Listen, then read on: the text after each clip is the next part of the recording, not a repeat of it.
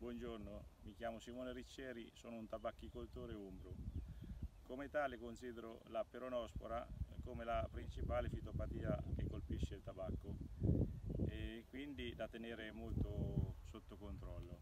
Dall'anno scorso nella strategia di difesa della cultura ho inserito un prodotto dal profilo tossicologico molto favorevole che si chiama Runman Top di Velkim effettivamente ho potuto vedere che nonostante eh, qualche pioggia caduta anche nel mese di agosto, eh, la cultura è rimasta comunque pulita fino alla fine.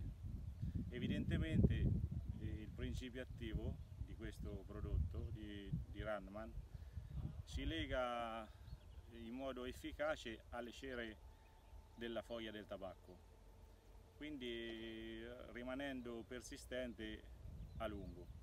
Sono rimasto diciamo, soddisfatto di come lavora il prodotto, sempre eh, tenendo presente il profilo tossicologico molto favorevole che oggi è una cosa di primaria importanza per la difesa delle piante.